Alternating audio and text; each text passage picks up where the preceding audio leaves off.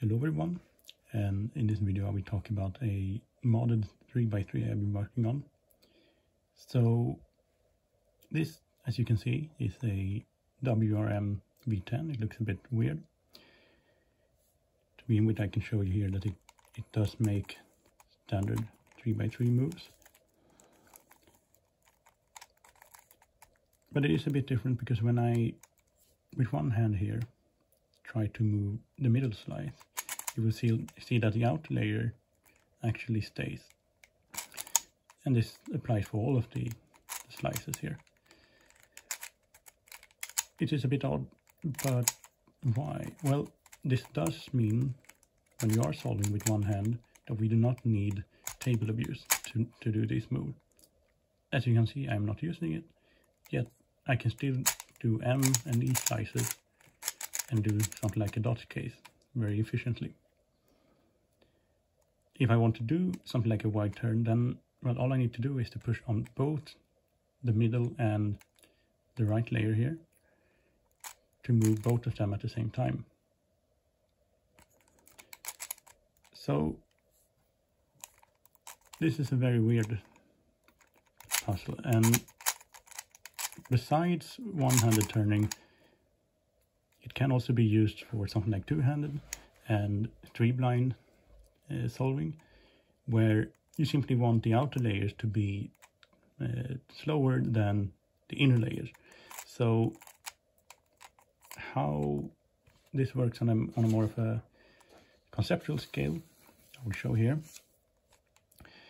So on a standard 3x3, uh, we are able to control the friction between the outer layers and the middle layers. This is B and C, and they are well both the same because of the symmetry. And uh, A here, so is the connection between the outer layers directly, but it is always equal to zero on a standard cube. We have no straight connection, connection. but on this 3x3 that I have modified, it actually does have some friction, and I'm able to adjust it to the extent that we achieve this effect, which allows for more control and moves that can be done with one-handed and turning, but also, well, other kind of turning as well. And that's where all of this, uh, the potential here, I believe exists. And I believe it is a, a fairly new construction. I haven't really been able to find anything else. I haven't heard anything from people I've shown this. And but it is not a completely new concept. There are other cubes out there with a, similar design and a similar effect. But I believe this is the third time someone has made this for a 3x3 and for the purpose of speed solving and utilizing this feature to our advantage. But how, how is this achieved then? Well, the outer layers are connected by themselves and the only pieces that sit in the outer layers are the corners. So essentially the corners are connected to to each other like uh, a, a 2 by 2 that has then been expanded and the edges and centers has been filled in between. So this is what leads to more control over how the cube turns we, because we essentially have two 3 by 3s that we can each adjust independently in a way. So to show you how it looks on the inside, the center pieces here, as, as you can see, they are not connected to anything in, in particular. So we will have to uh, open them up and uh,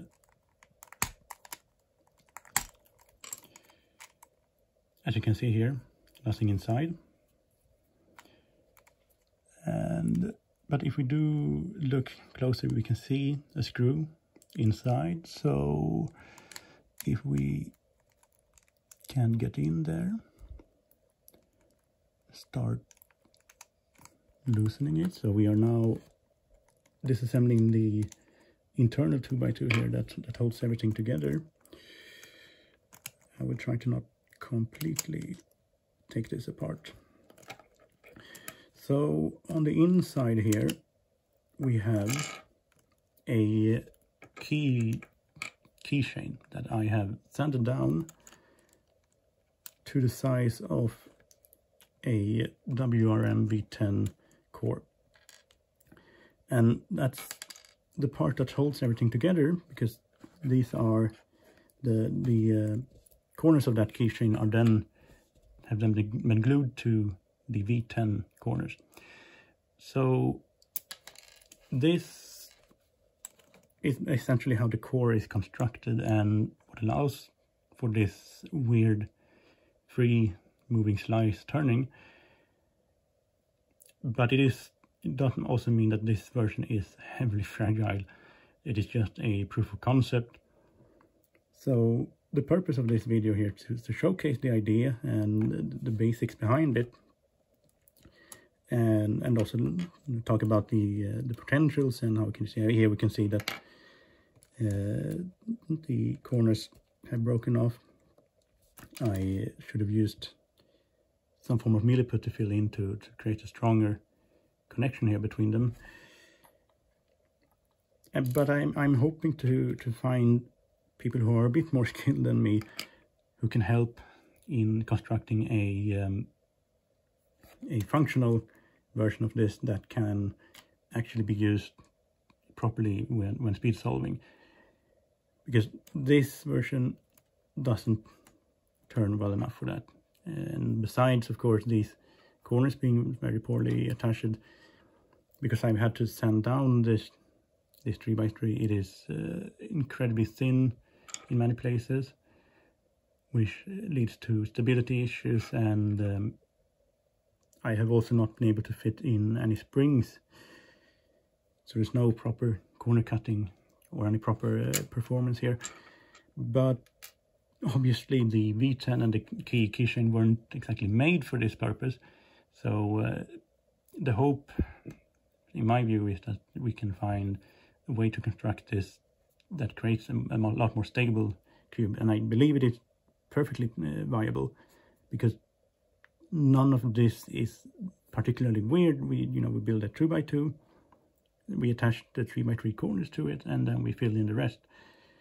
Uh, it is also should be noted here that part of why the V10 was chosen as the the outer shell here is because of the this lip design that causes the centers to stay in, uh, inside and not fall out, as well as the relatively uh, roomy inside that allowed me to put the this key keychain inside. And uh, yeah, but until we have been able to make a, a more proper version, we uh, have yet, we we cannot really say how exactly useful this is. But I do believe there is a lot of potential here and a, a potential to really well reshape how a lot of events work, mainly one-handed solving, because this is uh, an entirely new mechanism to my knowledge.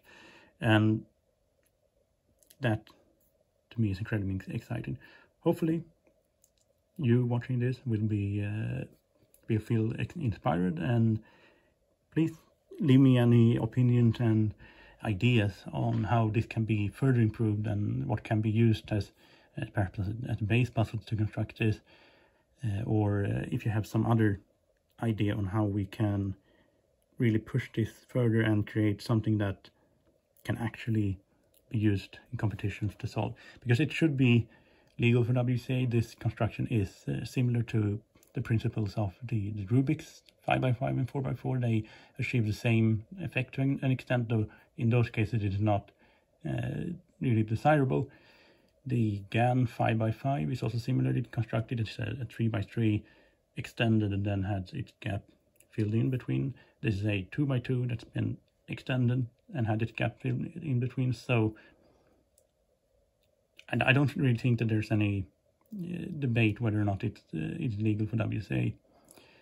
Um, but that is also part of why I hope that we can uh, continue working further on this and create a proper SpeedCube 3x3 with this kind of mechanism and abilities. And that's all for me. Have a good day.